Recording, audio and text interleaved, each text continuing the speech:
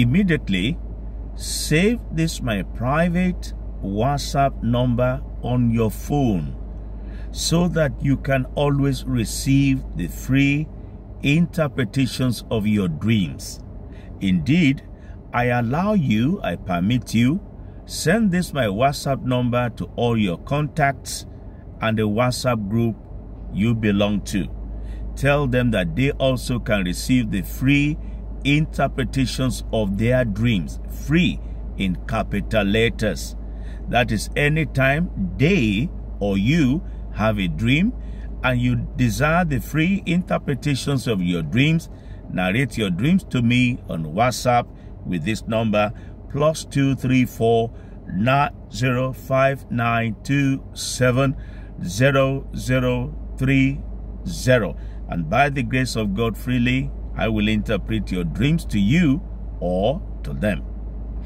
Before I go into the interpretation of dreams for today, moments ago I was in my private prayers and the Holy Spirit spoke to me about the lives of some of our viewers. Oh my God.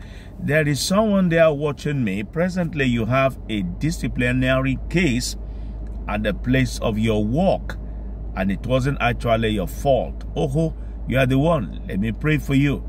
The Almighty God will intervene on your behalf. He will show you mercy and favor in Jesus' mighty name. Amen. Share your testimony with us. We are waiting to hear from you. Uh, I have an instruction to pray for parents that have children that are having these issues, children that are retarded in development, children that have academic problems, children that are addicted to wrong things like anger, like stealing, like telling lies, like alcohol, like drugs, children that have uh, marital problems. Hear what the Lord said you should do. Identify yourself and give me a private chat on that number on WhatsApp.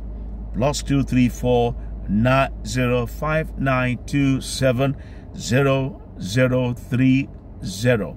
The Almighty God will show mercy to your children and deliver them. In Jesus' name.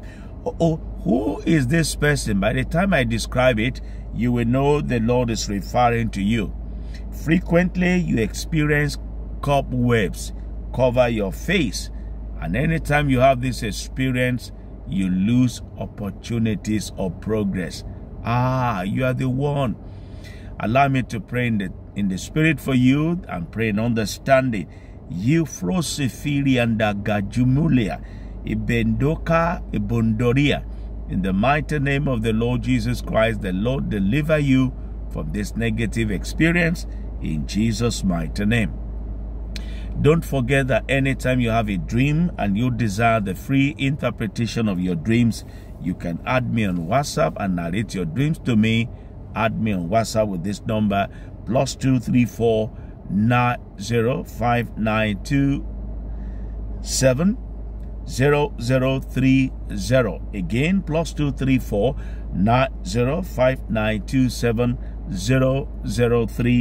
9059270030.